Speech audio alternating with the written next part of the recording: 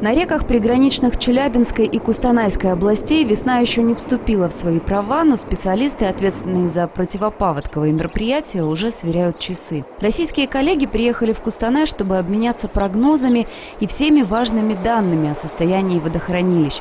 Зима в Челябинской области, как, впрочем, и в Кустанайской, в этом году была очень снежной. С ноября по февраль выпало почти в два раза больше нормы осадков и запас воды в снеге больше средних многолетних значений. Гидрометеорологические условия дают основания предполагать, что при средних условиях весны, а в этом году ожидается весна на территории Челябинской области затяжная, максимальный уровень весеннего половодья на реках Уймиас будут в пределах среднемноголетних значений, а на отдельных участках малых рек юга области – то есть Синдашта, а Тарбузак могут превысить норму в среднем на 30-150 сантиметров. Приток водохранилищем ожидается около нормы.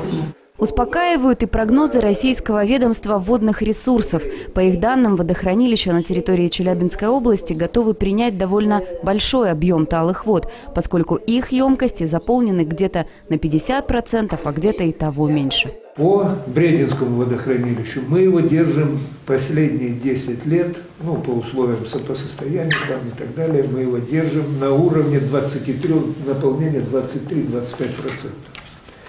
Поэтому если пойдет Берсуат, у нас есть запас где-то в 20 миллионов кубов, которые мы сможем принять в Брединское водохранилище и придержать для того, чтобы ну, Берсуатский поток в Жилкарское водохранилище несколько придержать.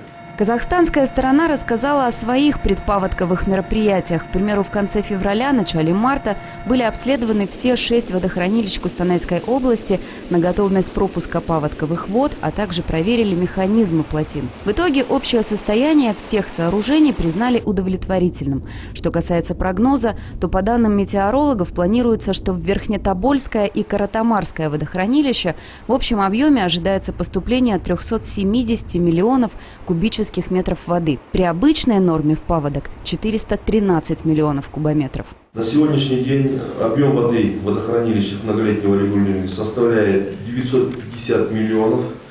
При суммарной проектной емкости миллиард 402. Это что составляет 68% наполнения. Также по данным метеорологов, в Верхнетобольском водохранилище самый пик половодья ожидается с 7 по 13 апреля. Каратамарском чуть раньше, с 3 по 9 апреля. Диара Хмечин, Дмитрий Гуренко, Елена Щегельская, РТН.